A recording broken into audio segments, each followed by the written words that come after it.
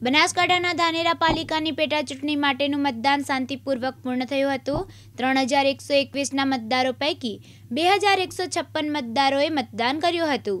જેમાં એક હજાર એકસો ચોવીસ પુરુષ, એક હજાર બત્રીસ મહિલા મતદારોએ મતદાન કર્યું હતું. પાલિકાની પેટા ચૂંટણીમાં છ વાગ્યા સુધી ઓગણસિત્તેર પોઈન્ટ આઠ ટકા મતદાન નોંધાયું હતું. મંગળવારે ધાનેરા મામલતદાર કચેરીએ મતગણતરી કરવામાં આવશે. ભાજપ કોંગ્રેસ અને આપ ઉમેદવારના ભાવિ મતપેટીમાં સીલ થયા છે.